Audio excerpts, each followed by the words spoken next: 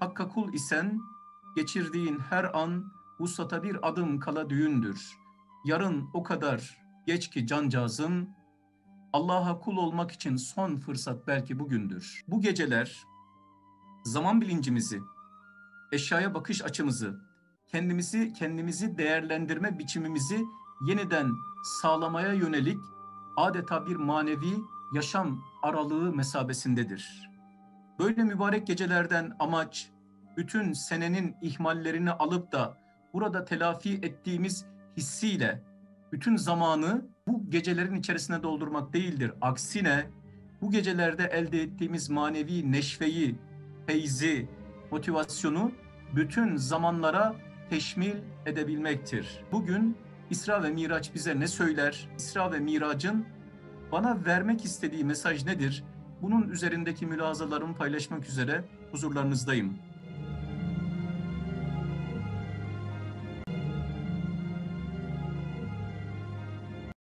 Aziz ve celil olan Allah'a sayısız ve sonsuz hamdolsun ve bir gece kafirlerin kendisini ve ashabını çokça bunalttıkları bir zaman diliminde Mescid-i Haram'dan Mescid-i Aksa'ya oradan da huzuruna ilahi bir sefer yaptırdığı Peygamber sallallahu aleyhi ve sellem Efendimiz'e sayısız ve sonsuz, hadsiz ve hudutsuz, uçsuz ve bucaksız salat ve selam olsun. Çünkü o Habibullah'tır. Çünkü o Nebiyullah'tır. Çünkü o Resulullah'tır. Çünkü o Hatemul Enbiya ve Rusul. Bütün Resullerin ve Nebilerin sonuncusudur. Çünkü o her bir tuğlası bir nebi muhtereme delalet eden bir izzet duvarının en son şeref tuğlasıdır. Çünkü o peygamberlerin kıyamet günü sözcüsü, peygamberlerin kıyamet günü öncüsü ve kıyamet günü bütün peygamberlerin şefaatine muhtaç olduğu Hatemul Enbiya ve Rusul bir peygamberdir ona sayısız ve sonsuz, hadsiz ve hudutsuz, uçsuz ve bucaksız salat olsun, selam olsun, nur olsun. Bu gece de inşallah Ramazan'a doğru bizi götüren geceler içerisinde yeniden silkinişimize, bazı şeyleri yeniden sorgulayıp önceliklerimizi, evleviyetlerimizi yeniden belirlemeye vesile olsun. Aslında mübarek bir gecenin içerisindeyiz. Recep ayının 27. gecesi. Recep ayının başında Peygamber Efendimiz sallallahu aleyhi ve sellem bir dua yapmıştı. Allah'ım bize Recep ve Şaban ayını mübarek kıl ve bizi Ramazan'a ulaştır demişti. Hedef, menzili maksut aslında Ramazan. Bu aylar aslında bilincimizi rahmetin sağanak sağanak yağdığı ve asıl bütün saadetleri temin edebileceğimiz bir manevi ganimet zamanı olan Ramazan'dan istifadeye bir hazırlık mesabesinde. Regaib kandilinin sebebi bu idi. Manevi hediyelerle, atiyelerle dikkatimizi, rağbetimizi Allah'ın maddeden manaya, dünyadan ahirete celbetmesindeki maksat bu idi.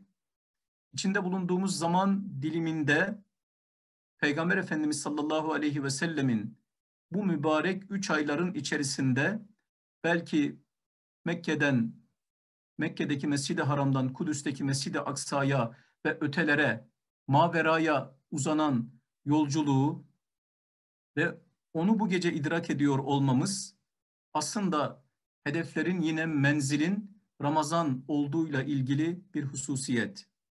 Ve sonrasında evet önümüzde Şaban ayı var. Şaban ayının 15. gecesi ve daha sonrasında e, evveli rahmet, ortası mağfiret ve sonu ateşten kurtuluş olan Ramazan.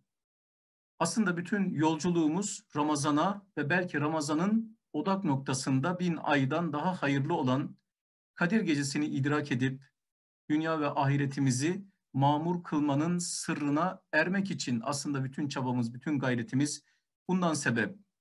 Elbette ki bütün zamanlar Allah'ın katında kıymetli. Elbette ki her an ölümlü bir varlık olmamız ve ölebilecek bir varlık olmamız ölme ihtimalimizden dolayı her an kıymetli. Çünkü an ölümün arefesidir. Çünkü Allah'a kulluk yapmak için bir sonraki demin zamanın bir garantisi, tazminatı, teminatı söz konusu değildir. Peygamber Efendimiz ashabına bazı hakikatler anlatırken eline bir çubuk alır ve yere bazı şeyler çizerek onların zihninde bazı hakikatleri somutlaştırırdı. Bir defasında eline bir çubuk aldı Peygamber Efendimiz, yere bir çizgi çizdi, onun etrafına küçük küçük başka çizgiler çekti. Sonrasında o çizgilerin etrafına kareye benzeyen bir şekil çizdi. En dışına da bir daire çizdi ve ashab-ı kirama sordu. Bu çizgiler nedir? Bu daire nedir? Bu etrafına çizdiğim şekil nedir? Onlar Allah ve Resulü en iyisini bilir dediler ve Peygamber Efendimiz buyurdu ki bu ortaya çizdiğim tek çizgi insandır. Onun etrafına çizdiğim küçük çizgiler insanı çepeçevre kuşatan musibetlerdir. O çizginin, o çizgilerin dışına çizdiğim, dışına çektiğim kare, kare şeklindeki bu şekil o insanın ecelidir buyurdu Peygamber Efendimiz. Ve o karenin dışına çizdiği daire içinde buyurdu ki bu da insanın emelidir, hayalidir. Elbette ki an ölümün arefesi olduğu için her an, her an huş derdem, her an, her anın farkında olarak Allah'a kulluk etmek esastır. Çünkü şair diyor ki, Hakka kul isen, geçirdiğin her an vuslata bir adım kala düğündür. Yarın o kadar geç ki cancağızın, Allah'a kul olmak için son fırsat belki bugündür. Elbette ki her an, her zaman, her dakika kıymetlidir. Fakat bu geceler zaman bilincimizi, eşyaya bakış açımızı, kendimizi kendimizi değerlendirme biçimimizi yeniden sağlamaya yönelik adeta bir manevi yaşam aralığı mesabesindedir. Böyle mübarek gecelerden amaç bütün senenin ihmallerini alıp da burada telafi ettiğimiz hissiyle bütün zamanı bu, bu gecelerin içerisine doldurmak değildir. Aksine bu gecelerde elde ettiğimiz manevi neşveyi, feyzi, motivasyonu bütün zamanlara teşmil edebilmektir. Onun için bu gece gerçekten bir sonraki zamana devredilmesi gereken bir ruh inşa etmeli. Bizim üzerimizde bugün İsra ve Miraç bize ne söyler? Bize bakan yönüyle şu anda bir mümin ve Müslüman olarak İsra ve Mirac'ın bana vermek istediği mesaj nedir? Bunun üzerindeki mülazalarımı paylaşmak üzere huzurlarınızdayım. Allah insanı kulluk için yarattı. Allah insana kendisine kulluk etme vazifesini yükledi. Biz bunun için dünyadayız. İnsan ya Allah'a kulluk edecek ya da Allah'ın dışında başka varlıklara kulluk edecek. İnsan Allah'a kulluktan yüz çevirdiğinde, inkar ettiğinde, isyan ettiğinde zannetmesin ki e, mutlak anlamda bir özgürlüğü elde edecek. Hayır. Amiyane tabiriyle insan yedi kocalı hürmüze dönecek. Belki Allah'a kulluktan kendisini sözüm ona kurtarmış olacak. Fakat şeytana tapacak. Kıyamet günü Allah insanlara nida edecek. Elem ahad ileykum ya beni Adem en la ta'budu şeytan. Demedim mi size ey Adem'in çocukları şeytana tapmayın diye. Allah'a kulluk etmeyecek ama şeytana kulluk edecek. Makama kulluk edecek. Mevkiye kulluk edecek. Mala kulluk edecek. Şehvetine kulluk edecek. Nefsine kulluk edecek. Eraeyte men ittehade ilahehu hevahu. Kendi hevasını, nefsini, Rab edineni görmedin mi? Gördün mü? Bak işte Allah'ı bıraktı kendi nefsine tapıyor. Aslında Allah'ın gayrısından, Allah'ın dışında edinilen ilahlar gerçek ilahlar değildir. Aslında tapan da tapılan da insanın bizatihi kendisidir. Müşrik putun kendisidir. Putlar sadece suç ortaklarıdır. Aslında insanın taptığı da sadece kendi çıkarları, menfaatleri ve nefsini avutan, nefsini tatmin eden şeylerdir. Peygamberler bir çağda geldiklerinde hak ve adalet ölçüleriyle İslam'ı tebliğ ettiklerinde bundan sebep insanlar Allah'a kulluk etmiyorlar ise nefislerine taptıkları için çıkarlarına menfaatlerine bir kutsiyet atfettikleri için peygamberlere çeşitli zulümler, işkenceler, sıkıntılar yapmışlardır. Peygamberlik tarihi bu örneklerle lebalep doludur. Efendimiz sallallahu aleyhi ve sellemin hayatı da böyledir.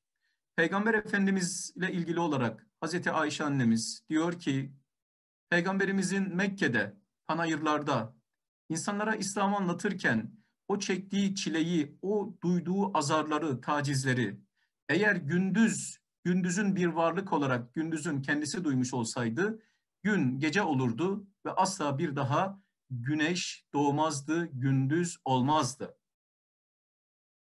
Efendimiz sallallahu aleyhi ve sellem gerçekten pek çok sıkıntılar çekti. Peygamber Efendimizin özellikle setinin 7. yılları ile 10. yılları arasında Peygamber Efendimiz'e ashabına uygulanan ekonomik ve sosyal abluka e, günleri, yılları izahtan varestedir. O zaman dilimi içerisinde e, akrabalarının, Kureyş'in ve müminlerle diğer e, kabilelerin ilişkilerini nasıl kestikleri, sosyal açıdan, ekonomik açıdan, psikolojik açıdan onları nasıl tecrit ettikleri, nasıl canlarından bezdirdikleri izahtan varestedir. Özellikle Peygamber Efendimiz sallallahu aleyhi ve sellem için ve elbette müminler için Bikset'in peygamberliğin 9. yılı bir hüzün yılıdır. Çünkü peygamberimizin ve Müslümanların iki büyük hamisi Ebu Talip ve Hazreti Hatice üçer gün arayla e, vefat etmişler ve peygamberimiz ve müminler bu konudan bir hayli müteessir olmuşlardır. Peygamber Efendimiz'e tacizler artmıştır.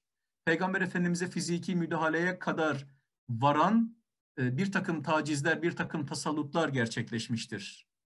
Peygamberimizin bir defasında Mescid-i Haram'da namaz kılarken Ebu Cehil'in Kureyş'in uluları etrafında olduğu halde şöyle kalkıp söylediği şu sözler e, hala okuduğumuzda gerçekten Peygamber Efendimiz'e iman eden her müminin ruhunu incitir niteliktedir.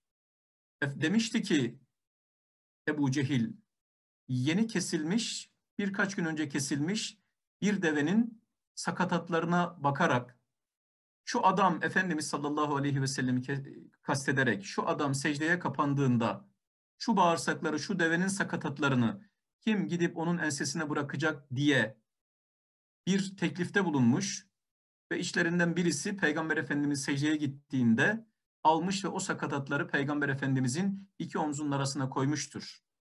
Peygamber Efendimizin çektiği sıkıntılar bu yılda gerçekten her zamankinden daha fazla bir şekilde artmıştır.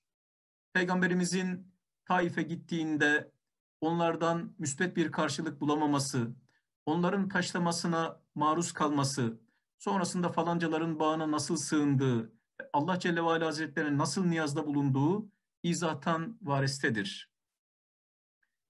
Böyle giderken, zaman böyle akarken Peygamberimiz ve müminler gerçekten oldukça bunaldılar. Hatta biraz sonra bahsedeceğim İsra'nın yaşanacağı gecenin gündüzünde Peygamber Efendimiz Kabe'nin gölgesinde otururken Habbab bin Eret radıyallahu anh geldi yanına Peygamber Efendimizin. Vücudu dağlanmış, türlü türlü işkencelere maruz kalmış bir şekildeydi. Peygamberimize dua etmesini ve Allah'ın bu zulümden onları kurtarmasını istedi. Peygamberimize böyle bir ricada bulundu. Efendimiz sallallahu aleyhi ve sellem onlara sabrı tavsiye etti. İslam bu beldede öyle hakim olacak ki Yemen'den San'a'dan bir kadın kendi binitine binecek ve buraya kadar gelecek ve Mescid-i Haram'da Kabe'nin etrafında tavaf edip malına, canına ve namusuna hiçbir sataşma olmadan tekrar gidip evine girecek, İslam bu beldelerde böyle hakim olacak fakat siz acele ediyorsunuz diye Peygamber Efendimiz onlara sabrı tavsiye etti. Fakat bu zaman dilimi gerçekten hem Peygamber Efendimiz hem de ashab-ı kiram hakkında sıkıntıların gerçekten e, katlanabilir noktaya, katlanılabilir noktaya, noktayı geçtiği bir zaman dilimine tekabül ediyor. İşte hicretin 12. özür dilerim, Bi'setin 12. yılı, Peygamber Efendimizin nübüvvetinin 12. yılı, Peygamber sallallahu aleyhi ve sellem Efendimiz ve ashabının en çok bunaldığı o zaman diliminde İsra hadisesi gerçekleşti. Ve o kadar muhteşem bir hadise ki Süleyman Çelebi Hazretleri'nin ifadesiyle ermedi evvel gelen bu devlete kimse layık olmadığı bu rifate önceki gelen peygamberlerden hiçbirinin ulaşamadığı, böylesine yükselemediği, böylesine yücelemediği, böylesine bir manevi tecrübeyi yaşayamadığı çok özel iki hadiseyi Peygamber Efendimiz sallallahu aleyhi ve sellem yaşadı. İsra ve Miraç. 45 ayrı sahabeden nakledildiği için bazı İslam alimlerine göre mütevatir olarak görülen, Kur'an ve sünnet ile sabit olan ve e, ümmetin varlığı konusunda en ufak bir şüphe göstermediği tarih boyunca iki muhteşem hadise. Bundan 14 küsür asır önce tam da yine bir Recep ayının 27. gecesi. Peygamber sallallahu aleyhi ve sellem Efendimiz bir rivayete göre Ümmü Hani'nin evinde, bir rivayete göre de Hicri İsmail'de iken Cebrail aleyhisselam geldi ve onun göğsünün içerisinde şeytanın hazzı olan o şeyi çıkarttı. Peygamber Efendimiz sallallahu aleyhi ve sellem Efendimizin göğsünü iman ve hikmet ile doldurdu ve kutsi bir yolculuk başladı. Belki Peygamber Efendimizin gönlünün iman ile doldurulması, hikmet ile doldurulması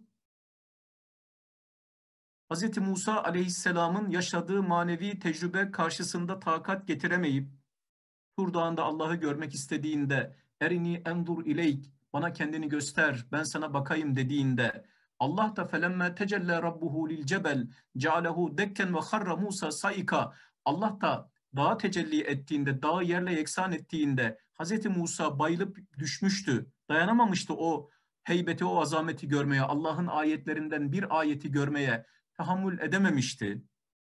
Belki Peygamber Efendimizin göreceği Ziya Paşa'nın bir ifadesi var ya, idraki meali bu küçük akla gerekmez, zira bu terazi bu kadar sıkleti çekmez. İşte o kadar bir insanın gördüğünde idrakinden azze düşeceği, belki tahammül edemeyeceği o kadar üst düzey hakikatleri, ayetleri müşahede edecekti ki Peygamber Efendimiz yolculuğun öncesinde onun kalbine yapılan bazı rivayetlerde şakkı sadır olarak ifade edilen Efendimizin göğsünün yarılması, kalbinin çıkartılması, içi iman ve hikmet dolu bir e, testinin, bir leğenin içerisinde yıkanılması, yıkanması, tekrar Efendimizin göğsüne iade edilmesi ve Peygamberimizin göğsünün lebalep, hınca hınç, iman ve hikmet doldurulması, belki Peygamber Efendimizin İsra ve Miraç esnasında göreceği harikulade olayları, ayetleri, delilleri, mucizeleri kaldırabilmesini sağlayacak bir manevi müdahale niteliği de taşıyordu. Peygamber Efendimiz sallallahu aleyhi ve sellem bir gece Mescid-i Haram'dan Mescid-i Aksa'ya oradan da gök tabakalarına Allah'ın izni ile çıkartıldı. İsra suresinin biraz önce hocamızın okuduğu birinci ayetinde aslında Allah bu hakikati ifade ediyor. Ayet Subhane ifadesiyle başlıyor. Aslında Subhane ifadesi bir şaşkınlık esnasında muhteşem bir olayın öncesinde ya da o olayı gördükten sonra zikredilen bir hayranlık ifadesidir. Bir hayranlık tabiridir. Allah Subhan ifadesiyle başlıyor. Subhanellezi şöyle şöyle şöyle yapan o Allah aklınıza gelen bütün eksik ve noksan sıfatlardan münezzehtir. Yaratması bakımından, yaşatması bakımından, bir şeyin olmasını istediğinde ona ol diyerek, kun feyekun, ol dediğinde olması bakımından, gücünün, kudretinin, ilminin, bir sınırının, bir eşiğinin olmaması bakımından. Allah bütün eksik ve noksan sıfatlardan münezzehtir. Subhan ifadesi Allah'ın eksik ve noksan sıfatlardan münezzehliğini ifade ediyor. Ve bu ayeti okuyan iman etmiş her mümin için diyor ki beklentini, anlayışını, idrakini ona göre ayarla. Şimdi zikredeceğim ifadelerde Allah bir gecede yaklaşık bir buçuk aylık bir mesafedir. Mescid-i Haram ile Mescid-i Aksa'nın arası. Bir anda Resulünü alıp oradan Mescid-i Haram'dan Mescid-i Aksa'ya oradan gök tabakalarını aşırıp huzuruna getirmesi nasıl mümkün olabilir diye düşünme. Çünkü bu işi yapan, bu mucizenin sahibi, aziz ve celil olan Allah bütün eksik ve noksan sıfatlardan münezzehtir. Ey bunu okuyan, bunun farkında ol. Sübhan ifadesi bir desturdur. Akla bir destur çekiştir. Şair diyor ki, akla kalma, er tecelli nuruna, şem'e hacet kalmaz erince sabaha. Akla kalma sen tecelliye bak, ortaya çıkmış ayan beyan ortada olan hakikate bak. Gün doğduğunda, güneş çıktığında artık muma gerek kalmaz ki. Onun için bu sübhan ifadesi bir desturdur. Subhanellezi esra bi abdihi. Kulunu gece vakti yürüten Allah eksik ve noksan sıfatlardan münezzehtir. Yürüttü diyor, kulunu diyor. Kulunu dedi, burada aslında tamlama, izafet, teşrif içindir, tazim içindir. Kulum dedi. Ve aslında Peygamber Efendimiz sallallahu aleyhi ve sellem abduhu olmakla, Abdullah olmakla, Allah'ın kulu olmakla Allah'ın insan cinsini, beşer nev'ini yaratmasındaki hikmeti, maksadı, amacı, gayeyi. Yani ve me halaktul cinne vel inse illa liyabudun. Ben cinleri ve insanları sadece ama sadece bana kulluk etsinler diye yarattım ifadesindeki o sırrı tahkik etmiş, gerçekleştirmiş, örnek numuneyi imtisal, İbrahim'in niyazı, Musa'nın duası, İsa'nın müjdesi, bütün peygamberlerin gıptası, Habibi Edib, Raufur Rahim, alemlere safa, Hazreti Muhammed Mustafa sallallahu aleyhi ve sellem. Allah abdihi dedi, abduhu dedi, kulunu dedi. Burada teşrif vardır. Efendimizin Allah'ın nazarında, huzurundaki mertebesi, makamıyla ilgili altı çizilecek bir tabirdir bu. Ve abdihi demekle subhanellezi esra bi abdihi kulunu demekle belki de bu yolculuğun sadece ruhla ilgili olduğunu, belki rüyada olduğunu söyleyenlerin bütün görüşlerinden de başka bir yerde durmaktadır şu anda ayet. Çünkü abdihi dediğimiz zaman ruh ve bedenle ilgili bütünlüğü kastediyoruz. Yani Allah gece vakti kulunu yürüttü, kulunu yürüttü. Ona bir rüya göstermedi. Eğer rüyada bir şey görülmüş olsaydı rüyasında ona gösterdi derdi kulunu götürdü demezdi. Beden ve ruh bütünlüğünü ifade eden bir kavramdır abdihi ifadesi. O Allah eksik ve noksan sıfatlardan münezzehtir. Çünkü kulunu alıp götürdü. Leylen bir gece vakti minel mescidil harami ilel mescidil aksa. Mescid-i haramdan mescid-i aksaya gece vakti İsra demek zaten gece yürüyüşü demekti. Gecenin önemi vardır her vakit önemlidir ama bazı vakitler bazı vakitlerin önündedir. Her vakit mühimdir demek hiçbir vakit, vakit Allah'ın katında önemli değildir demek değil. Bir gün Amr bin Abese radıyallahu anh diyor ki peygamberimize sordum. Allah Allah'ın huzurunda belli zamanlar, bazı zamanlar, bazı zamanlardan daha eftal midir? Daha üstün müdür? Böyle bir şey söz konusu mudur? Peygamber Efendimiz bana gecenin üçte birlik kısmını, son üçte birlik kısmını gösterdi. Teheccüd vaktine işaret etti. Oralar önemlidir. Orada ayakta olmaya bak, orada ibadet halinde olmaya bak dedi. Gecenin önemine işaret etti Peygamber Efendimiz. Allah da Efendimiz sallallahu aleyhi ve selleme ve minel leyli feteheccet bihi nafileten lek gecenin bir kısmında sana nafile olarak kalk ve teheccüd namazını kıl. Ase en yeb'ateke rabbuke makamen mahmude. Umulur ki Rabbin seni makamı mahmuda iletir. Böyle buyurdu Allah. Gece tazim edilmesi gereken mükerrem bir zaman dilimidir.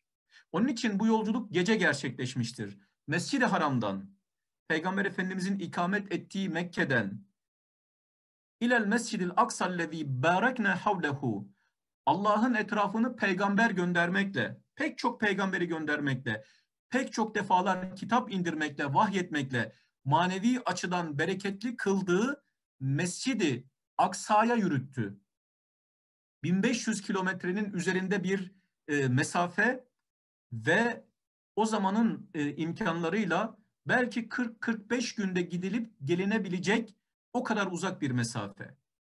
Bu kadar kısa bir zamanda Allah peygamberini Mescid-i Haram'dan Mescid-i Aksa'ya bu kadar o, o zamanın şartlarıyla, o zamanın imkanlarıyla bu kadar uzun bir zamanda kat edilen bir mesafeyi Peygamber Efendimiz sallallahu aleyhi ve selleme bir gecede belki mahiyetini tam olarak idrak edemiyoruz ama bir göz açıp kapa kapayana kadar ki zaman aralığında Allah kulunu Mescid-i Haram'dan Mescid-i Aksa'ya götürdü. Neden? Sebep. Ayette buyuruyor ki li nuriyehu min ayetine. Ona ayetlerimizi göstermek için ayetlerimizden, mucizelerimizden kendi ihtişamımıza Allah azimuşşanın tecellilerini göstermek için Mescid-i Haram'dan Mescid-i Aksa'ya Allah Celle ve Ala Hazretleri Peygamber Efendimiz sallallahu aleyhi ve sellemi götürdü. İsra suresinin birinci ayetinde bunu ifade ediyor. Ve ayet innehu huves semi'ul basir Allah her şeyi işitendir ve Allah her şeyi görendir, her şeyden haberdar olandır. Bu şekilde bitiyor. Aslında bu ayetin fezlekesi Peygamber Efendimizin İsra ve Miracı yaşadığı o ortam içerisinde Peygamberimizin çektiği çilelerden, ashab-ı kiramın içinde bulunduğu o ızdırap halinden Allah'ın asla habersiz olmadığını, Allah'ın her şeyi gördüğünü, her şeyi bildiğini ve şimdi Peygamber Efendimiz'i Mescid-i Haram'dan Mescid-i Aksa'ya oradan da gök tabakalarının ötesine geçirerek ve ona bir takım mucizeler göstererek Peygamber Efendimiz'in ve ashabının nasıl himmetlerini, ilgilerini, motivasyonlarını, aşklarını, şevklerini nasıl bilediğini, Allah'ın her şeyden nasıl haberdar olduğunu ifade ediyor. Ayetin sonundaki fezleke kısmı bu hakikati ifade ediyor. Peygamberimiz Hatim'de veya Ümmühani radıyallahu anhanın evinde iken Cebrail aleyhisselam geldi ve onu Burak isminde bir binite bindirerek Peygamber Efendimiz sallallahu aleyhi ve sellemi Mescid-i Aksa'ya, Kudüs'teki Mescid-i Aksa'ya götürdü. Peygamber Efendimiz oraya geldiğinde orada yüz küsür bin peygamberi hazır buldu. Bütün peygamberler pek sahih rivayetlerde biraz önce ifade ettiğim gibi bu rivayetler ümmetin gerçekten hakkında en ufak bir şüphe duymadığı tarih boyunca modern zamana gelene kadar modern zamanda sadece modern zamanda bir takım dış kaynaklı tesirlerden dolayı bugün e, sünnet ve hadis inkarcısı bir takım zihniyetlerin şu andaki iddialarının izine rastlanmaz tarih içerisinde. Çünkü bu rivayetler 3 kişinin, 5 kişinin, 10 kişinin, 20 kişinin, 30 kişinin, 40 kişinin değil, 45 ayrı sahabenin aktardığı, naklettiği, güvenilirliğinde yani İsra ve Miraç denilen bir olgunun Peygamber Efendimizin yaşadığı bir olağanüstülük olarak bir hakikatin gerçekleşmesi konusunda en ufak bir istifamı bile ortada bırakmıyor. Rivayetlerin içerisinde bazı konularda bazı rivayetler arasında bazı uyuşmazlıklar göze çarpabiliyor. Fakat bir olgu olarak İsra ve Mirac'ın en sahih ve muteber hadis kitaplarını merkeze aldığımız zaman Peygamber Efendimiz hakkında İsra ve Mirac'ın gerçekleştiği konusunda en ufak bir şüphe söz konusu değil. Peygamberimiz Mescid-i Aksa'ya geldiğinde orada peygamberleri hazır buldu ve onlara Peygamber Efendimiz imamlık yaptı ve namaz kıldırdı. Efendimiz bir defasında buyurmuştu ki ene imamun nebiyyine ve hatibuhum ve sahibu şefaatihim yevmel kıyame. Ben peygamberlerin imamıyım, öncüsüyüm. Ben kıyamet günü peygamberlerin hatibiyim, sözcüsüyüm. Ve ben kıyamet günü peygamberlerin bile kendisine muhtaç olduğu şefaati uzmanın sahibiyim. Efendimiz böyle buyurmuştu. Ve peygamberimiz bütün peygamberlerin önüne geçerek onlara namaz kıldırdı.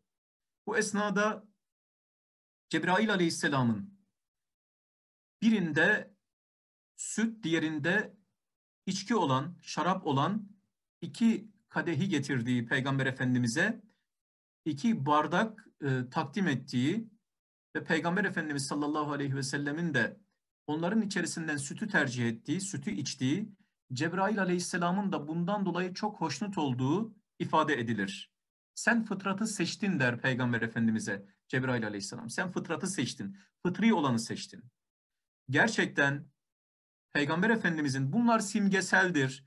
Elbette ki biz hakikati bütün boyutlarıyla idrak edecek noktada değiliz. Ziya Paşa'nın ifadelerini ondan okudum. İdraki meali bu küçük akla gerekmez. Zira bu terazi bu kadar sıkleti çekmez sözünü bundan okudum. Ve konuşmamın sonunda bir müminin İsra ve Miraç hadiselerine bakış açısının nasıl olması gerektiğini de ifade edeceğim. Elbette ki sorduğumuz her sorunun cevabını alamıyoruz. Elbette ki Kur'an'ı okuduğumuz zaman da sorduğumuz her sorunun cevabını alamıyoruz. Anlayabildiğimiz kadarıyla bazı mevzuları anlıyoruz. Anlayamadığımız konuların epistemolojik güvenilirliğini Allah'a terk ederek, Allah'a meseleyi havale ederek, tevili değil tefvizi, Allah'a havale etmeyi tercih ederek biz bazı meselelere iman edip geçeriz. Kur'an'da çünkü Kur'an'ın öyle bir özel yapısı var ki evet Kur'an akla inmiştir, aklı olan insana inmiştir. Fakat Kur'an akıl ötesi bir alemden geldiği için aklın idrakinin üzerinde bir sürü mevzu vardır Kur'an'da. Kur'an insana indiği için beşeri bir yöne, yöne sahiptir ama Kur'an Allah'tan geldiği için ilahi bir mahiyete sahiptir.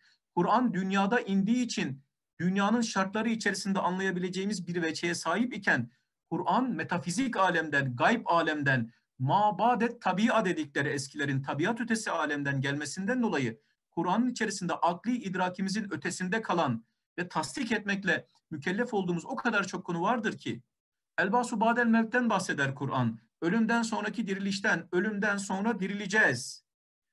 Peki nasıl bu toprak olmuş ceset, bu toprak olmuş kemikler nasıl dirilecek? E inna le merdudune fil hafira e iza kunna izamen nahira. Naziat suresinde müşriklerin bu itirazlarını Allah anlatıyor. Yani biz öldükten sonra, çürüdükten sonra, kum toprak olduktan sonra mı dirileceğiz? Evet, ondan sonra dirileceksin. İşte burada lisanından asla yalan dökülmeyen ve doğruluğunu getirdiği mesajın işaret ettiği kevni hakikatlerle, nazımla mananın arasındaki ilişkinin kuvvetiyle, kitabın mucizevi boyutuyla ruhumuzda oluşturduğu akislerle onlarca yüzlerce yolla teyit ettiğimiz bir peygamber bize bunu haber verdi. O diyorsa doğrudur dediğimiz için biz bunların hepsine iman ediyoruz.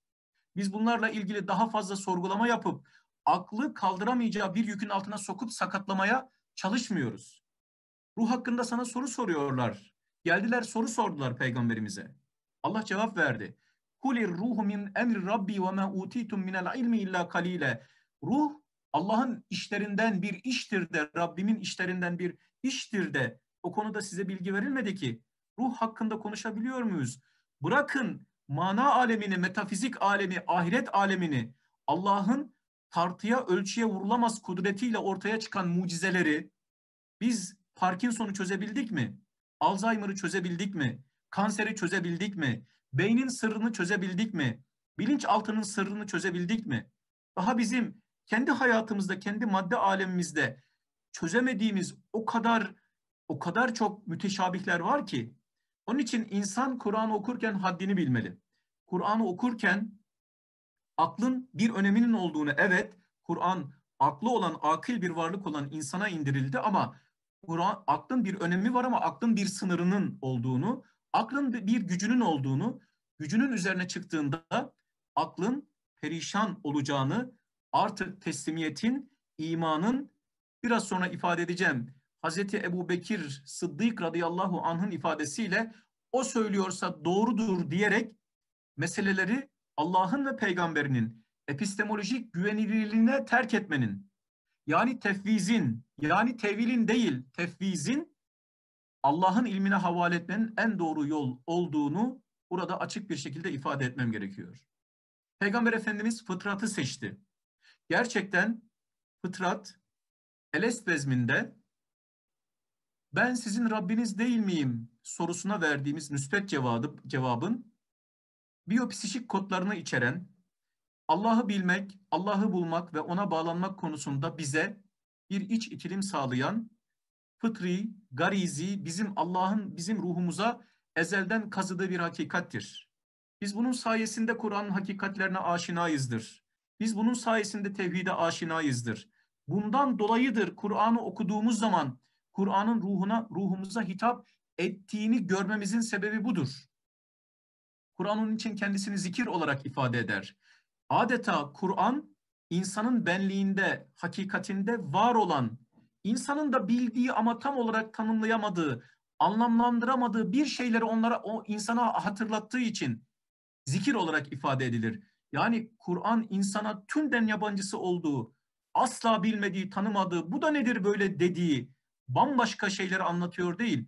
Kur'an'ın anlattıklarıyla insanın fıtratındaki o ilahi yazılım arasında bir ünsiyet vardır, bir uyum vardır, bir rabıta vardır. Ondan dolayı eskiler demişlerdir ki fıtrat insanın içerisindeki Kur'an'dır. Kur'an insanın dışındaki fıtrattır. Peygamber Efendimiz fıtratı tercih etti. Bugün İslam'ın realitelerini ve idealitelerini ortaya koyalım. Diğer bütün izimlerin, ideolojilerin, dinlerin kökeni itibariyle ilahi kaynaklı olsun olmasın.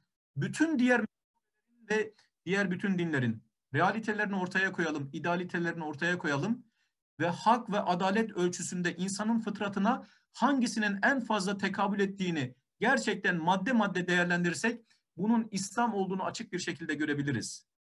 Peygamber Efendimiz sallallahu aleyhi ve sellem fıtratı tercih etti. Bizim dinimiz bir denge, itidal ve fıtrat dinidir. Her doğan da bu fıtrat üzere doğar. Onun için her doğan İslam'a müsait bir yapı ile, donanım ile bu dünyaya gelir. İslam bir denge dinidir. Peygamber Efendimiz bir gün Hazreti Ali radıyallahu anh'ın yanına bir çubukla geldi. Çubuğu ortasından tuttu Peygamberimiz. Önce uç tarafını gösterdi, bir ucunu gösterdi çubuğun. Dedi ki, Ali, hakkı burada arama, hak burada değildir. Sonra diğer ucunu gösterdi çubuğun. Dedi ki, Ali, hakkı burada da arama, hak burada da değildir. Peygamberimiz çubuğun ortasını tuttu ve ona işaret etti, buyurdu ki, Ali, hakkı burada ara, hak buradadır. Onun için İslam itidal dinidir. Efendimiz sallallahu aleyhi ve sellemin sünnetine baktığınızda onun her boyutuyla yaşamı tam bir denge, ittizam ve intizam, orta yol, orta yoldur. Efendimiz'e ruhbanlık bulamazsınız. Peygamber Efendimiz sallallahu aleyhi ve sellem hem ibadet etmiş, hem ailesiyle ilgilenmiş, hem geçimi için uğraşmış, hem dünya ve ahireti dengeli bir şekilde dünyevi vazifelerini asla ihmal etmeden ama elbette ki gönlü, ağırlığı, kalbi Allah'ın huzurunda olmak kaydıyla fakat dünyayı ahiretin tarlası görerek yaşamıştır. Peygamber Efendimiz'den aldığımız şey özü itibariyle budur. İslam'da sekülerleşme yok iken İslam'da ruhbanlık var değildir. La rahbeniyete fil İslam. İslam'da ruhbanlık da yoktur. Peygamber Efendimiz böyle buyuruyor. Efendimiz sütü tercih etti. Sonra bir şey oldu. Miraç denilen bazı İslam alimlerinin bütün rivayetleri burada detayıyla analiz etmek için bir mesela imkan söz konusu değil. Özetle şunu ifade edeyim. Miraç denilen bazı İslam alimlerinin ifadelerine göre Miraç denilen başka bir vasıtaya Peygamber Efendimiz intikal etti. Burak, Peygamber Efendimiz'i Mescid-i Haram'dan Mescid-i Aksa'ya kadar götürdü. Oradan itibaren Peygamber Efendimiz Miraç denilen bir e, alet ile, bir aygıt ile yükselmeye başladı. Ve rivayetlerde, pek sahih rivayetlerde Peygamber Efendimizin gök kapılarına geldiğini, gök tabakalarını teker teker geçtiğini ve her tabakada ilk önce birinci kat semada Hazreti Adem ile, sonrasında e, Hazreti İsa ile, Hazreti Yahya aleyhisselam ile, Hazreti İdris aleyhisselam, Harun aleyhisselam, Musa aleyhisselam, İbrahim aleyhisselam ile yedi kat semayı teker teker geçerken bu peygamberler ile görüştüğü, onlarla sohbet ettiği pek sahih rivayetlerde ifade ediliyor. Ve Peygamber Efendimiz rivayetlerde Sidretul Muntaha denilen varlık ağacı aslında şehadet aleminin, madde aleminin, varlık aleminin bittiği ve ötesinde ne olduğuna dair mukarret meleklerin bile herhangi bir fikrinin, bilgisinin, malumatının olmadığı bir yere Peygamber Efendimiz geldi. Bu süreç içerisinde Efendimiz sallallahu aleyhi ve sellem Beyt-i Mamur'u gördü. Kur'an'da üzerine yemin edilen ve vel beytil mamuri şeklinde Allah'ın üzerine yemin ettiği, kasem ettiği ve meleklerin adeta meleklerin şehrine Peygamber Efendimiz sallallahu aleyhi ve sellem uğradı ve Efendimizin ifadesine göre her an oraya 70 bin melek giriyor ve 70 bin melek oradan çıkıyordu. Peygamber Efendimiz sallallahu aleyhi ve sellem bu hakikatleri gördü. Daha sonra cenneti mü müşahede etti. Cennetteki nimetleri gördü, cehennemi gördü, cehennemdeki azap şekillerini gördü, kimlere nasıl azabın yapıldığını gördü ve Sidretül Müntaha'nın ötesine ulaştı, e, huzur Rabbil alemine vasıl oldu ve Allah'a mülaki olduktan sonra bu ulvi yolculuk bitti. Peygamber Efendimiz yolculuğa başladığı yere tekrar döndü ve kendisine geldiğinde Ümmü Hani radıyallahu anhaya bu meseleleri anlattı. Ben, ben böyle böyle şeyler yaşadım diye. Ümmü Hani radıyallahu anha onu kimseye anlatmamasını, müşriklerin zaten Peygamber Efendimiz'i yalanlamak için, ona eziyet etmek için vesileler aradıklarını, bunu anlatmaması gerektiğini ifade etti. Tabii Peygamber Efendimiz bunu anlattı. Efendimiz bu yaşadığı tecrübeyi aktardı e, insanlara. Bu hadisenin sabahında ilk olarak Ebu Cehil ile Peygamber Efendimiz karşılaştı. Ebu Cehil ona sormuş, bu gece yeni bir şey var mı? Bu sabah bize anlatacağın yeni bir hadisen var mı? Peygamber Efendimiz de buyurmuş ki var. Anlat bakalım demiş Ebu Cehil. Nedir? Peygamber Efendimiz yaşadıklarını birer birer anlatmış. Bu oldu, buradan buraya intikal ettim, Mescid-i Haram'dan Mescid-i Aksa'ya gittim, oradan şöyle şöyle şöyle oldu, gök tabakalarını geçtim, gittim, geldim, tekrar döndüm. Ebu Cehil demiş ki, tamam, şimdi ben Kureyş'i toplasam, etraftaki insanları toplasam, onlara da bunu böyle anlatır mısın? Peygamber Efendimiz buyurmuş ki anlatırım. Ve Ebu Cehil orada bulunan bütün kimseleri, bütün insanları topluyor.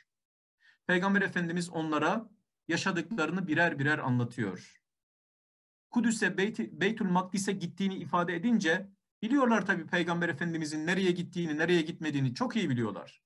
Çünkü 45 günlük, 50 günlük yaklaşık gidişi gelişi 50, 50 günlük bir mesafeye Efendimizin git, gitmesinin onların takibindeyken yani Efendimizin hayatını, geçmişini çok iyi bildikleri için gitmediğinden eminler. Bugünün şartlarında bir gün içerisinde bir insan dünyanın bir noktasına gidip gelebilir. Ve bu gözden kaçırılmış olabilir. Ama o zaman için böyle bir şey söz konusu değil. Hemen onların Beyt-i Makdis'in, Kudüs şehrinin, o bölgenin kapılarını ve girişlerini sorduklarını görüyoruz. Hemen bunu sormuşlar. Yani sen madem ki gittin oraya, oraya giden ve oranın yapısını bilenlerden birisi, Peygamber Efendimiz'e o müşriklerden birisi bunu soruyor. Söyle bakalım kapılarını, söyle bakalım onu o mimari yapısını. Tabi burada anlatılan Peygamber Efendimiz'in İsrası esnasında orada bugün Süleyman Mabedi diye bildiğimiz o yapı söz konusu değil. Peygamber Efendimiz sallallahu aleyhi ve sellemin gittiğinde oradaki gördüğü müşriklerin de sorduğu şey bizatihi mescidin kapıları pencereleri değil. O mescidi çevreleyen o geniş bir şekilde Beyt-i Makdis olarak ifade edilen o şehrin girişleri. Şehirlerin e, evvel zamanda böyle girişleri varmış. Muhtelif ve birden fazla girişleri varmış. O girişlerin aslında o girişleri o kapıları soruyor. Ve Peygamber Efendimiz buyuruyor ki o esnada Allah bana o Beyt-i Makdis'i çevreleyen o duvarları, o yapıyı Allah bana gösterdi ve ben, ben onları teker teker onlara anlattım. Sonrasında Peygamber Efendimiz bir kervandan bahsediyor. Peygamber Efendimiz yolda Kureyş'e ait bir kervanı gördüğünü, hatta o kervanın e, su tulumlarından bir tanesini alıp su içtiğini, hatta o kervanın ön önünde siyahımsı bir devenin olduğunu ve kervanın falanca gün Mekke'ye ulaşacağını Peygamber Efendimiz onlara anlatıyor. Ve Efendimizin tam da Peygamber sallallahu aleyhi ve sellem Efendimizin dediği gibi gerçekleşiyor hadise. O kervan o Peygamber Efendimizin belirttiği zaman içerisinde Mekke'ye ulaşıyor ve önünde de o e, siyahımsı e, deve olduğu halde. Sonra müşrikler bunu bir ganimet olarak bildikleri için bunu böyle inanılmaması gereken bir mevzu ve adeta Hazreti Peygamber'in davasının batıllığına bir delil olarak gördükleri için Hazreti Ebu Bekir'in yanına gidiyorlar. Şimdi bizim Fatiha'yı okuyan, İhtina sıratel müstakim diyen, Allah'ın bizi sırat-ı müstakime ilet diyen, sıratel lezine enamte aleyhim, o yol ki sağ, e, kendilerine nimet verdiklerinin yolu. O Allah'ın kendilerine nimet verdiklerini de Nisa suresinde Allah dört maddeyle açıklıyor. Minen nebiyyine ve sıddıkine ve şuhede ve salihin. Peygamberler, sıddıklar, salihler ve şehitler. Şimdi bakınız biz günde 40 defa, 5 vakitte 40 defa peygamberlerle, sıddıklarla, şehitlerle, salihlerle onların tuttuğu yol ile olduğumuzu, o yol üzere olduğumuzu ifade ediyoruz. Şimdi Hazreti Ebu Bekir radıyallahu anh'ın bu olay karşısındaki tepkisi her mümin için bir kıstastır, bir kriterdir. Geldiler Peygamber Efendi, Peygamber Efendimizin arkadaşının yanına. Dediler ki senin arkadaşın bir gecede şunları şunları yaptığını iddia ediyor. Bunu da tasdikleyecek misin? Hazreti Ebu Bekir Efendimiz diyor ki bunları söylerken duydunuz mu? Duyduk diyorlar. O diyorsa doğru söylüyor. Bu kadar. Ve diyor ki ben bundan daha üstün olanına inanıyorum. Ben bundan daha muhteşem, daha olağanüstü olanına inanıyorum. Ben ona Allah'ın vahyettiğine, Cebrail aleyhisselamın ona vahiy getirdiğine inanıyorum. Bazı İslam alimleri diyorlar ki bir mümin Cebrail aleyhisselamın semadan, Allah'ın huzurundan vahiy getirmek için Peygamber Efendimiz sallallahu aleyhi ve selleme indiğine inanıyor ise Peygamber Efendimiz sallallahu aleyhi ve sellemin Allah'ın huzuruna çıktığına inanmaması bir çelişkidir. Meleği indiren Allah ise peygamberini çıkartan da Allah'tır. Meleği indirdiği gibi kulunu da çıkartmaya muktedirdir, çıkart, çıkartır. Onun için Hz. Ebu Bekir'in bu yaklaşımı çok mühimdir, sıddıklık makamıdır. Bu peygamberin epistemolojik güvenilirliğine meseleyi terk etmek, tefviz. O söylüyorsa doğrudur demek. 45 ayrı sahabeden geliyor ifade ettiğim gibi bu hadise ve gerçekten e, muhteşem bir hadise. Ve e, müşrikler bu konuyu tartıştıklarında, onun üzerinde ileri geri konuştuklarında Allah Celle ve Ala Hazretleri Necim suresiyle ilişkilendirmişler İslam alimleri, özellikle bizim tefsir alimlerimiz bu konuyu. Efetumerunehu ala ma yara. Onun gördükleri konusunda onunla tartışmaya mı giriyorsunuz? Cedelleşiyor musunuz? Lekad ra'ahu nezleten uhra inde sidratil muntaha. O Cebrail aleyhisselamı baş diğer inişte, son inişte, diğer inişte Sidretül Münteha'nın yanında gördü. Şimdi Sidretül Münteha öyle bir şey ki e, evet e, sınır ağacı demek, hudut ağacı demek, hudut sidresi hudut ağacı demek ve miracın daha doğrusu Necim suresinin ayetlerinin miracı ifade etmediği ve Mekke'nin zemininde dünya şartlarında meydana geldiğini iddia edenlerden bazıları bu ağacın falanca yerde Mekke'nin işte bir yakınında bir yerde bir ağaç olduğunu ve indehe cennetul me've onun yanında da bir bahçenin olduğunu ifade ediyorlar. Ve cennetul me'vaya da yani e, Necim suresindeki ilgili ayete de cennetul me'va ifadesine de Mekke'deki bir bahçe olarak anlam veriyorlar. Halbuki Kur'an-ı Kerim'de cennetul me'va ifadesi dört defa geçiyor. Ve dördünde de tamamen uhrevi bir bağlamda ahirette cennette olan bir cennetin bir bölümü bir kısmı olarak ifade ediliyor.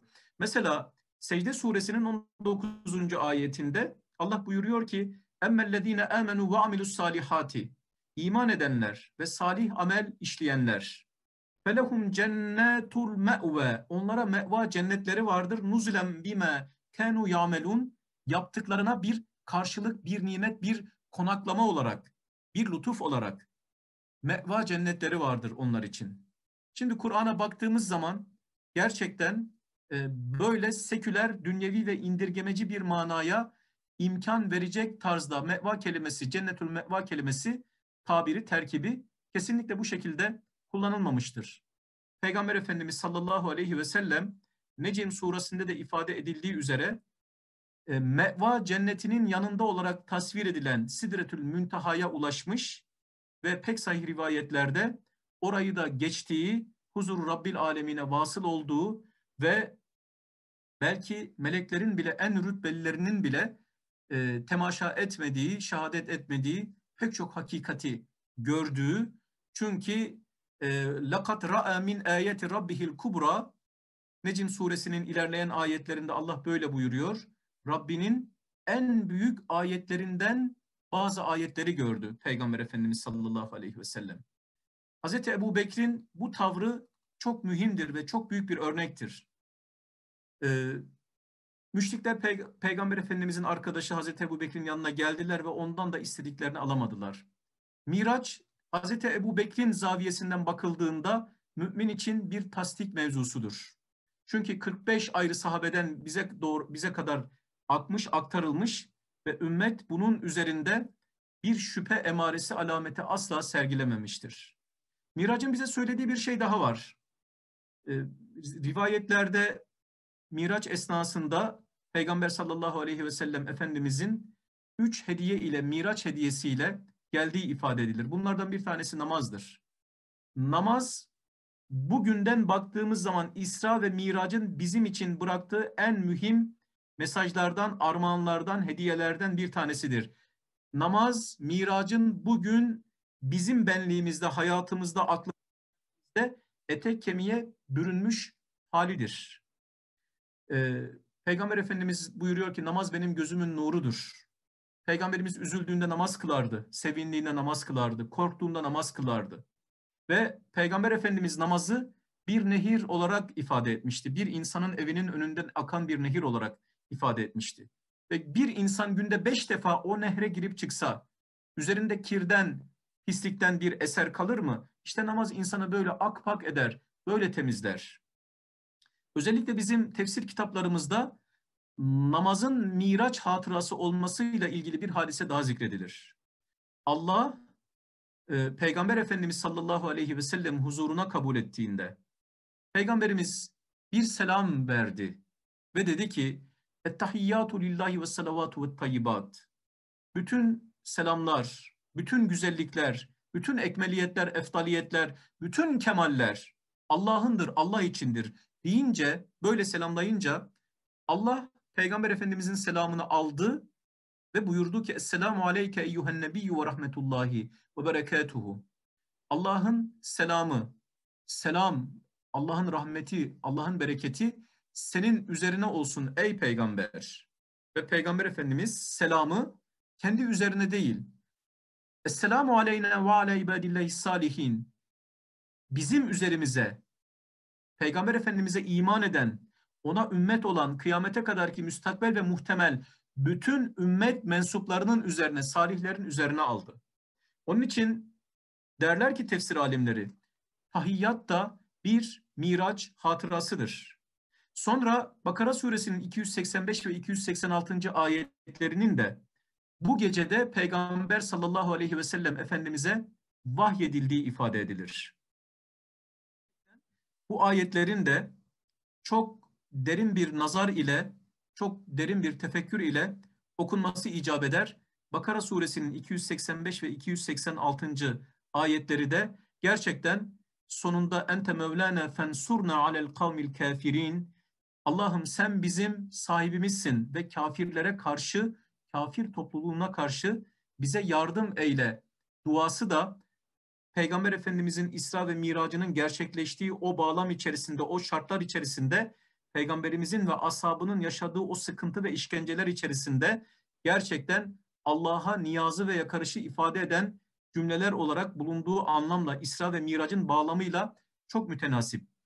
Ee, gerçekten Amener Resulü diye bildiğimiz o ifadeler dünya ve ahiretin bütün mutluluğunu celbedecek, cezbedecek, ifade edecek yakarışlarla doludur. Baştan sona bunun belki özel bir zamanda özel bir e, mevzu olarak incelenmesi gerekiyor. Peygamber Efendimiz kim gece Bakara suresinin 285 ve 286. ayetlerini Amener Resulü yani okursa e, sabaha kadar o ona kifayet eder. Peygamber Efendimiz sallallahu aleyhi ve sellem böyle buyuruyor. Onun için bir müjde de Peygamber Efendimiz'den bu idi. İsra ve Miraç'tan Efendimiz'in getirdiği rivayetlerde bir de şirke bulaşmadan iman ile ölen müminlerin affedileceğiyle ilgili bir müjde getirdi Peygamber Efendimiz. Bu şu halde hiçbir şekilde amele ihtiyaç yok demek değil. Biz zaten müminiz. Amele hiç ihtiyaç yok, ibadete hiç ihtiyaç yok. Önemli olan demek ki imanmış demek değil. Çünkü ayağımızın altındaki ayakkabımız eskir. Üzerimize giydiğimiz gömlek eskir. Kolumuzda kullandığımız saat eskir. Kullandığımız aracın lastiği eskir. Kalbinizdeki imanlarınız da eskir. Peygamber Efendimiz böyle buyurmuş. Ve onu yenileyin, onu tamir edin buyurmuş. Nasıl yenileyelim diye sorduklarında Peygamberimiz La ilahe illallah'ı zikri önermiş. Zikirle. Kur'an'ı incelediğimiz zaman zikir o kadar geniş ve çatı bir kavram ki Kur'an'ın zikir olduğunu görüyoruz. İnne nahnu nezzelne zikra ve inne lehu lehafizun. Zikri biz indirdik ve onu biz koruyacağız. Kur'an zikirdir. İnne salate tenha anil fahşeyi vel münker ve le zikrullahi ekber. Namaz insanı kötülükten ve fuhşiyattan alıkoyar. Namaz Allah'ı zikretmektir. Allah'ı zikretmek de en büyük olandır. Zikirlerin en büyüğü namazdır. Namaz zikirdir. Biz zikri düşündüğümüz zaman zikir dil ile Subhanallah, Elhamdülillah, Ekber demeyle başlayan, namaz, oruç ve haç gibi ibadetleri içine alan, bizi e, bize Allah'ı hatırlatan, bizim de kendisiyle Allah'ı hatırladığımız her şey bu hedefe yönelik maddi ve manevi, akli ve ruhi, ruhi ve bedeni her eylemdir. Onun için imanımız eskir, imanımız yıpranır. İbadet imanın fanusudur. Ahlak, güzel ahlak imanın fanusudur. Çünkü iman eğer ibadet ile, takva ile koruma altına alınmadığı takdirde zaman imanı yıpratır. İşlenilen günahlar imanı yıpratır. Çünkü bir insan bir günah işlediğinde Peygamber Efendimizin ifadesiyle onun kalbinde siyah bir nokta oluşur. Bir nokta daha, bir günah daha, bir günah daha, bir nokta daha onun kalbini çepeçevre sarar, kuşatır o yaptığı işler. Ve sonrasında kelle bel rana ala kulubihim ma kanu yeksibun Mutaffin suresindeki ifadesiyle Allah'ın o yapılan işler çepeçevre kalbi kuşatır ve kalpteki imanı, erdemleri, ahlakı, takvayı bitkisel hayata sokar. Onun için ibadet ve güzel ahlak imanın gıdasıdır. Eğer ibadet ile, itaat ile, takva ile, güzel ahlak ile beslenmemiş ise iman, ölümün şiddetinin o imanı söndürmesi ve insanın Allah muhafaza kendisini mümin zannederken imansız ölmesi gibi bir tehlikeden bahseder büyük alimler. Ve hatta insanın imanının peşinde olan bir varlık vardır. Bu şeytandır. Ve izkâle lil insâni kfur felemmâ kefara kâle inni beri'un minke inni ehâfullâhe rabbel alemin. İnsana sokulur şeytan. Kafir ol der, inkar et, kurtul, rahat et. At şu omzundaki yükleri der. İnsan inkar ettiği zaman da bir köşeye çekilir. Kendin ettin, kendin buldun. Ben alemlerin Rabbi olan Allah'tan korkarım der. Onun için Peygamber Efendimiz imanla ölen kimsenin günahlarını Allah'ın affedeceğini müjdelemiştir. Ama iman ile ölmek büyük mevzudur, çok büyük meseledir. Peygamber Efendimiz bile ashabına çokça şu duayı yapmalarını tavsiye etmiştir. Allahümme ceal hayra umri ahira. Allah'ım benim ömrümün sonunu en hayırlı kısmı kıl. Çünkü bir hüsnü hatime korkusu vardır. Bir su-i hatime korkusu vardır. Hüsnü hatime için ibadet ile, itaat ile, takva ile, güzel ahlak ile imanı teyit etmek gerekir. İsra'nın ve Mirac'ın bize özellikle Miraç'ta Peygamber Efendimiz sallallahu aleyhi ve sellemin müşahede ettiği o cennet ve cehennemdeki tabloların söylediği çok önemli bir şey vardır. Özellikle Efendimiz cehenneme girdiğinde bazı kimselere bazı azapların yapıldığını gördü. Mesela bir adamın önünde çok güzel, nezih, pişmiş çok güzel bir et var. Ama bir tarafında da kokmuş, kurtlu bir et var ve o adam ısrarla ve inatla gidiyor ve o kokmuş eti yemeye çalışıyor. Ve böyle azap görüyor. Peygamberimiz sordu, bu adam kimdir? Ve dedi ki Cebrail aleyhisselam bu dünyada iken tertemiz eşini bırakıp da işte o kötü kadınlara giden e, kimsedir. Sonrasında Peygamber Efendimiz dudakları demirden makaslarla kesilen bazı insanlar gördü. Bunlar kimdir diye sorduğunda bunlar fitne çıkartan hatiplerdir dedi Cebrail aleyhisselam. Fitne çıkartan hatiplerdir. Söz insana emanettir. Ve bu devirde, bu zamanda insanın yanlış olduğunu bile bile bir fikriyatı, bir sözü, bir düşünceyi yayması, yaygınlaştırması ve insanların gönüllerini, akıllarını, toplumun yapısını bozması, ifsad etmesi kadar kötü ve feci bir şey yoktur. Batılın batıl olduğunu bile bile bunun propagandasını yapan, bunun insanların kalbine ve gönlüne yerleşmesine yol açan, yol arayan herkes bu akıbetle bu akıbete düçar olacaktır. Onun için Peygamber Efendimiz sallallahu aleyhi ve sellemin gördüğü bu e, olağanüstü azaplar, olağanüstü durumlar bizim açımızdan bugün çok önemli bir e, durumu ifade ediyor. Kendimize çeki düzen vermemiz konusunda çok önemli bir ikazı ifade ediyor.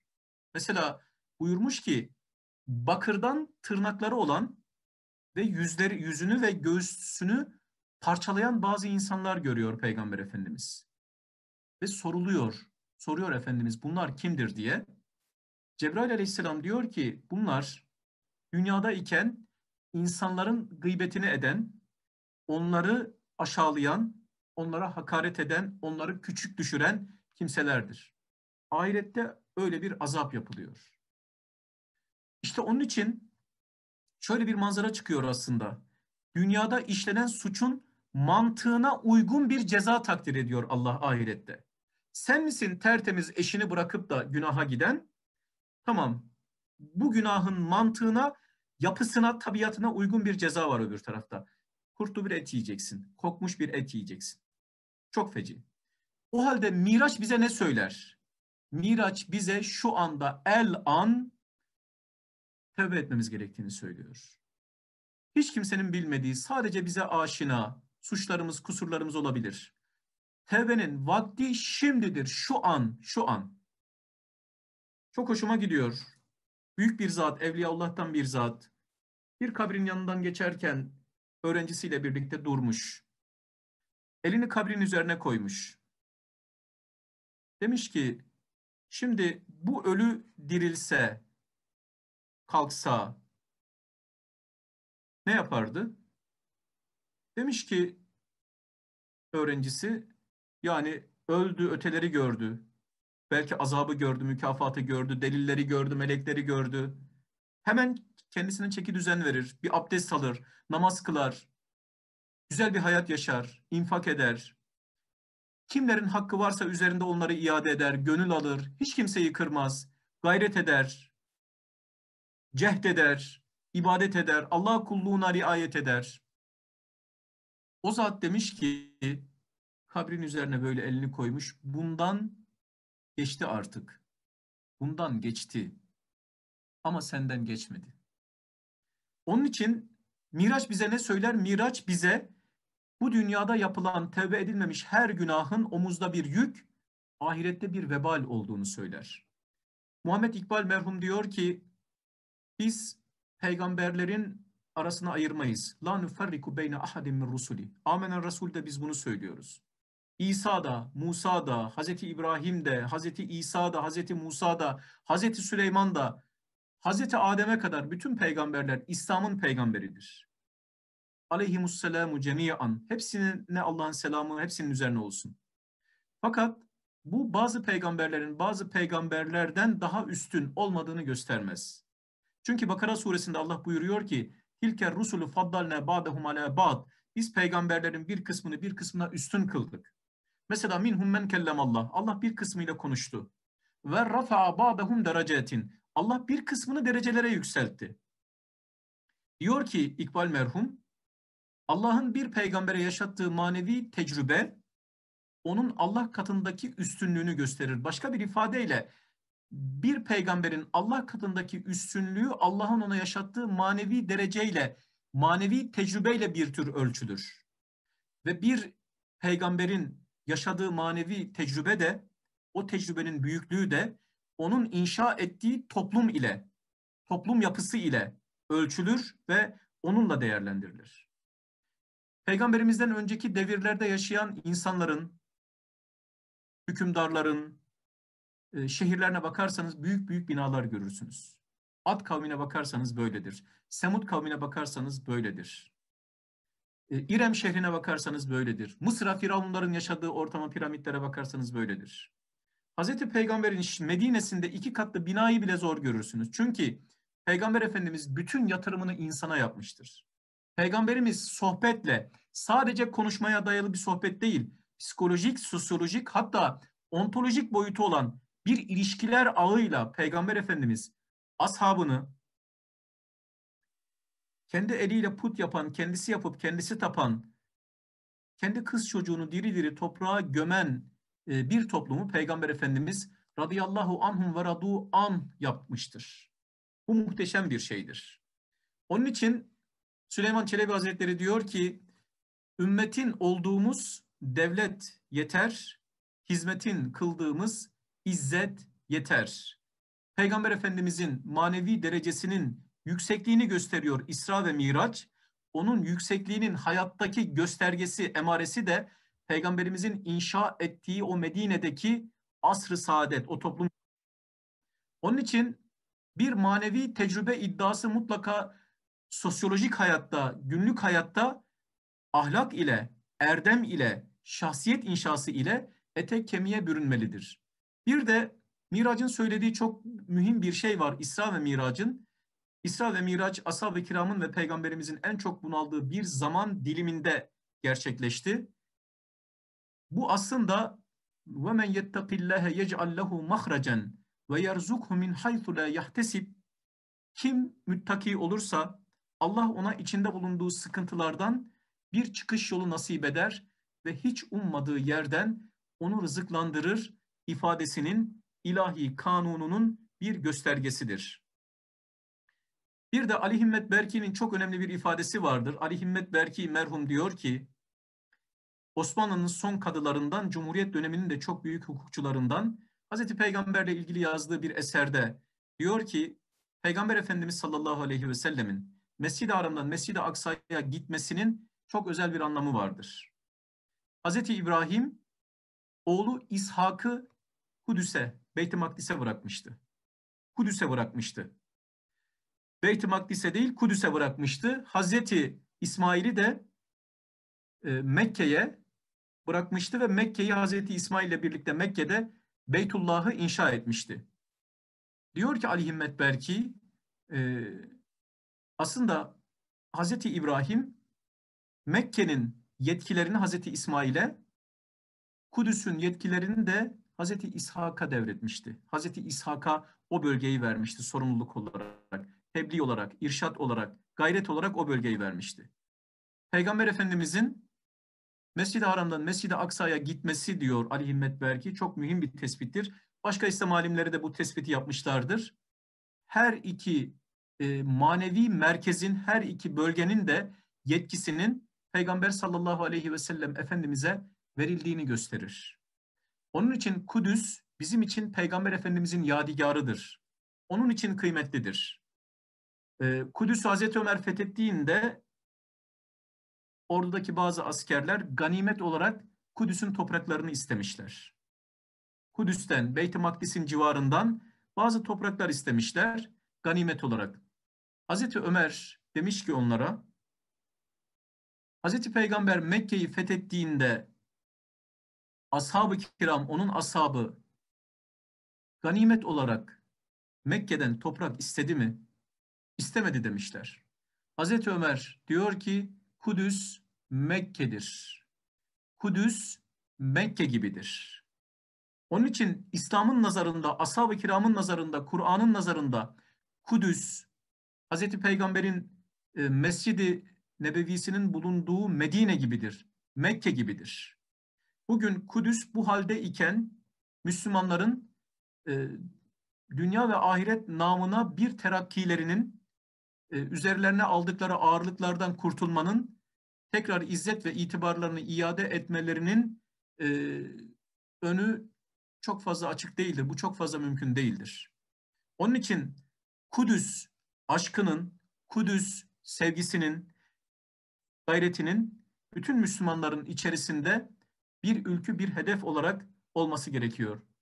Şunu söylemek istiyorum aziz ve sevgili kardeşlerim, sözlerimi toparlarken gerçekten İsra ve Miraç e, Hazreti Peygamber hakkında çok muhteşem tecellilerin gerçekleştiği tam da Süleyman Çelebi Hazretleri'nin ifadesiyle tekrar söylemiş olayım onu.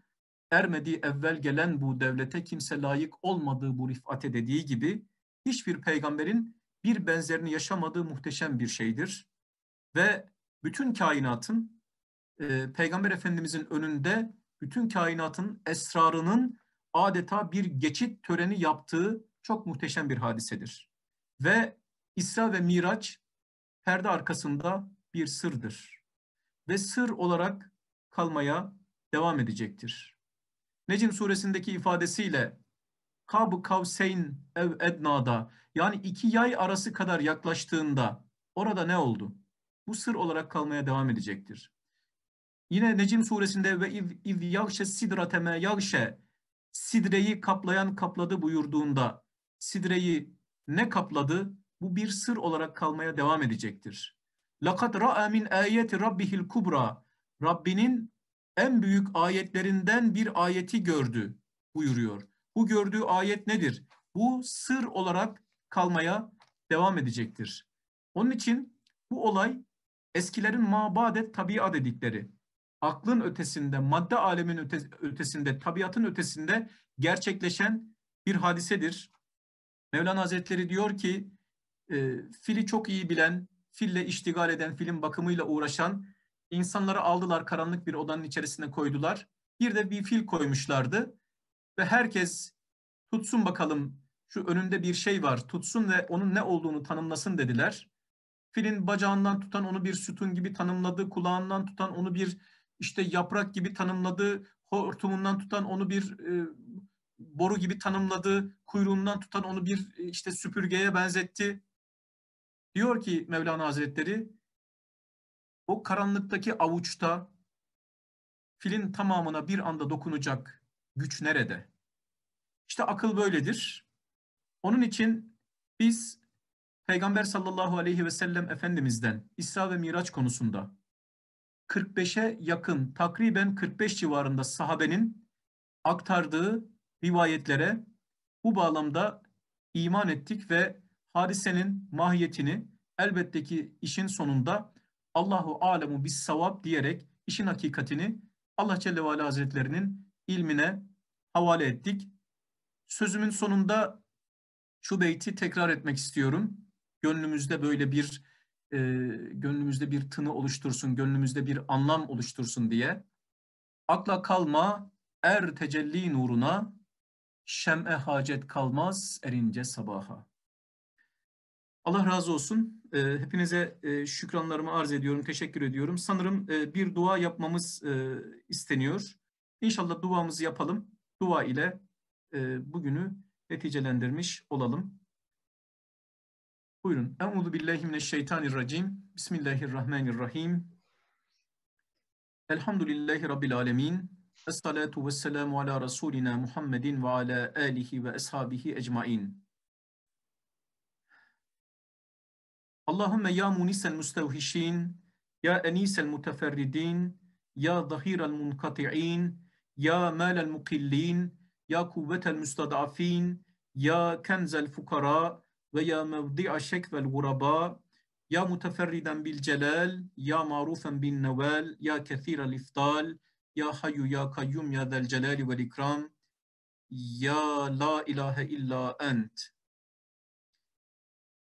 İlahi ya Rabbi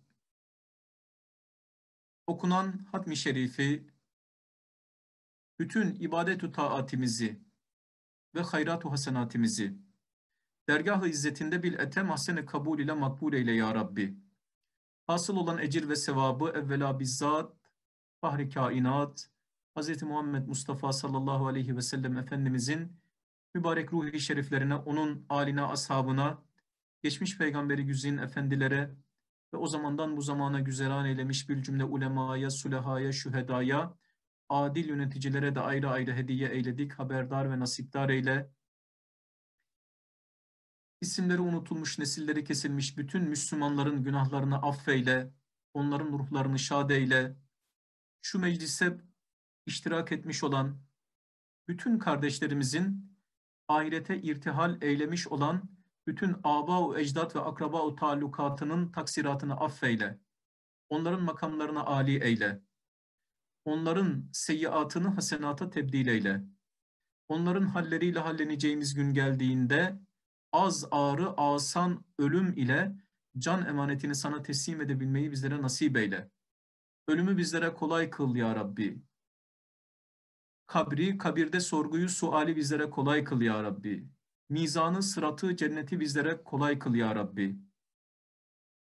Bizleri Peygamber sallallahu aleyhi ve sellem Efendimizin livaül hamdi altında ahbabımızla, evladımızla, ahfadımızla, yaranımızla haşru cem eyle ya Rabbi.